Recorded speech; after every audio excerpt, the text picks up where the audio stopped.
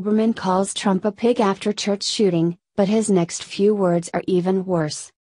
President Donald Trump gets grief from the left, regardless of what he says and does, and the recent tragedy in Texas proved no different. Within hours of the horrendous mass shooting inflicted on a church in Sutherland Springs, our Commander in Chief immediately addressed the tragedy, expressing his deepest condolences. However, political commentator Keith Olbermann was immediately fired up about the president's remarks, calling Trump a pig. However, it was his next few words that were even worse. While President Donald Trump is away in Asia, a disturbing incident took place at the First Baptist Church in Sutherland Springs, Texas. As the congregation gathered for their weekly services, 26 year old Devin Patrick Kelley walked into the church shooting, resulting in 26 dead and several more injured.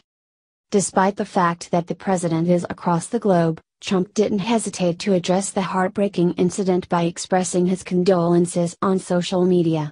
As any respectable public figure would do, Trump immediately addressed the disturbing incident that unfolded in Texas, but it wasn't good enough for Olbermann. In fact, it would only set him off. Trump wrote, May God be with the people of Sutherland Springs, Texas. The FBI and law enforcement are on the scene. I am monitoring the situation from Japan. However, with just those three sentences, Trump left Olbermann so infuriated that the enraged leftist resorted to name calling, aimed directly at the President of the United States.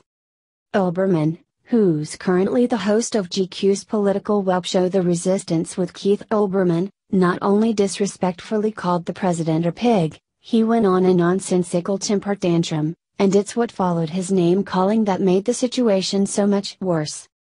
Olbermann responded to Trump's tweet, saying, You pig, real Donald Trump. If the shooter were a person of color or a Muslim, you'd be heading home calling for the death penalty. Not only was Olbermann calling Trump a pig because Trump was invoking God instead of gun control, the liberal lunatic also engaged in racist divisive rhetoric while he threw all common sense aside, ignoring the fact that the shooter is dead, so the death penalty can't be demanded, it was already dished out in the form of instant justice. This is truly disgusting. Not only is he blatantly disrespecting the President of the United States by calling him a pig, he appears offended by Christian values, so much so that logic has been completely cast aside. What's more, could you imagine if Trump did demand the death penalty in this case? The liberal press would have a field day, painting him as a moron for saying such a thing when the subject is already deceased. Yet, they get away with it time and time again since they also said something similar regarding the Vegas shooter. The double standard is so blatantly obvious, it's sickening. Secondly, the fact that Olbermann is assuming Trump would react differently solely based on the gunman's skin color or religion is ridiculous. In fact, when the Islamic terror attack struck the Orlando Pulse nightclub, Trump responded very similarly to a remark he made about the current shooting in Texas. According to Breitbart, Trump responded to the Orlando tragedy, inflicted by a Muslim gunman, by saying, if some of those great people that were in that club that night had guns strapped to their waist or strapped to their ankle, and if bullets were going in the other direction, aimed at that guy, for whom this was just, target practice, you would have had a situation which would have, been, horrible, but nothing like the carnage that we as a people suffered this weekend. Similarly, Following the shooting in Texas, Trump noted that a resident with a gun engaged the church assailant.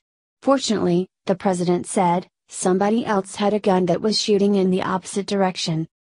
In both cases, the president focused on our Second Amendment rights and how they can save lives, not the skin color of the shooter. In fact, it seems it's the liberals who bring up race and religion each time something happens, using it unjustly to fault the president. Furthermore, in his tweet, Trump was simply asking God to help those who are affected by the killer's twisted attack at the church. Their faith will be tested for the coming days, months, and even years as a result of what they experienced. They're in need of God's guidance and comfort now more than ever before, considering the tragedy and loss they just experienced. Praying for that for them isn't wrong. It's compassionate. It's a shame that our country is turning into a place where, during a time of tragedy, Even our president can't seek God's help without liberals becoming unhinged and going on illogical tirades. In reality, the best thing we can do for the people at Sutherland Springs is to seek God's comfort for them through prayer. Just because the left wants to step on the bodies of those who were killed and push their political agenda for gun control, it doesn't mean the rest of the nation agrees.